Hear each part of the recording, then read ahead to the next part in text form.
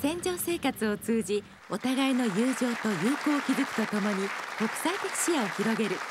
第13回 B&G 和コードの船の決断式が7月2日晴海ふ頭において行われました一皆さんおはようございます。どうぞ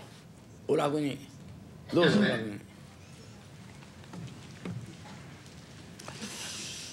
私はですね、年寄りも大事ですけど、若い皆さん方も日本を背負って立ってもらわなきゃならない。またアメリカの皆さん方もアメリカを背負って立ってもらわなきゃいけないから、そういう人たちをですね、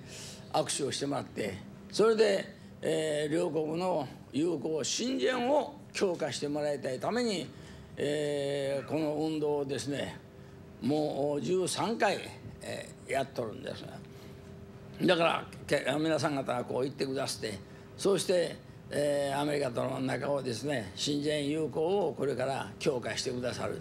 誠にありがとう。よろしく願います。最後に、えー皆さん方のおお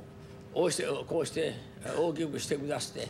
えー海外前へ出してくださるお父さんお母さんのご苦労に際しまして最高の敬意と最大の感謝の誠を捧げます。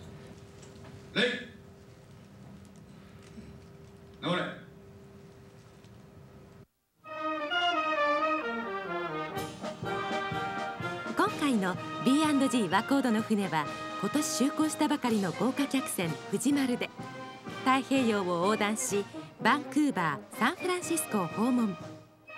参加した若者たちは規律正しい生活と厳しい訓練をこなし